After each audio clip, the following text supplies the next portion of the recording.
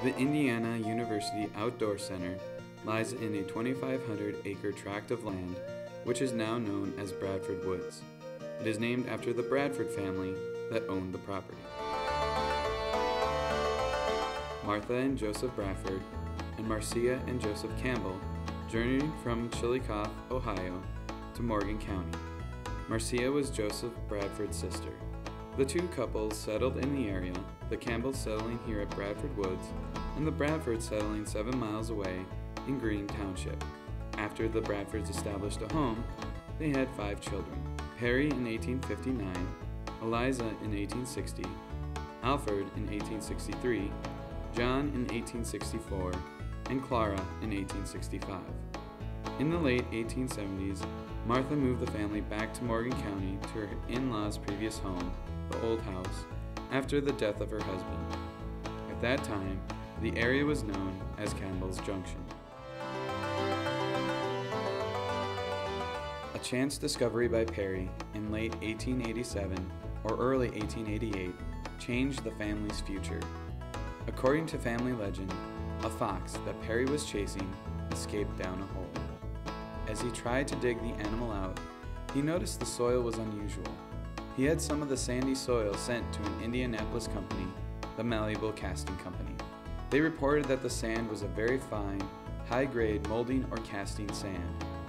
This type of sand was used in the production of brass, iron, and steel as a mold casting material. Most importantly, the company was willing to pay the Bradfords for each wagon load of sand they could deliver. After only a few wagon loads of sand, the M.E. Bradford Sand Mining Company was incorporated.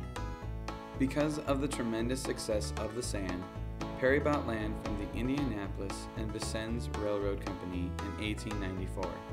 He also bought a small train engine and installed a narrow gauge rail line. Tipple Trail is actually one of the tug trails used to haul the sand to Tipple Field. Tipple Field was the site of the railroad loading dock for the sand. A screening plant was also developed in this area. The plant made it possible to process the sand before it was shipped to the steel mills in Gary, Indiana.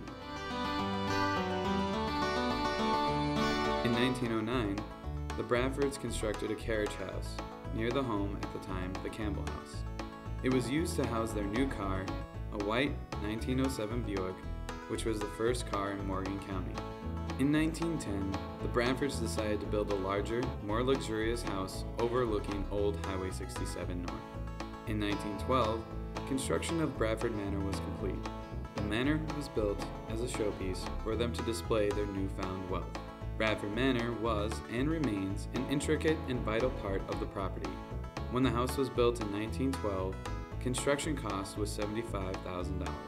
The reason for the building here was due to the fact that everyone who traveled along the highway could see it. The spring house was and is still positioned over a natural spring.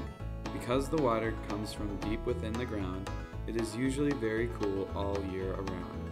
The current brick structure was built around 1900. The original wood structure was built in the mid 1850s. A long trough, which holds large volumes of water, was located in the back room. The trough was supplied with water from the natural spring and was used to hold the food that required refrigeration. Because none of the brothers married, there were no direct heirs to the Bradford estate. In 1937, Clara was killed in a car accident, leaving John the sole executor of the estate. The last thing John wanted was for the land to be divided up into little farms. He wanted to keep the estate intact. In 1938, John deeded his home and 900 acres of his wooded estate to Indiana University. The deed contained the stipulation that the property was to be used for the benefit of children and for charitable, educational, and recreational purposes.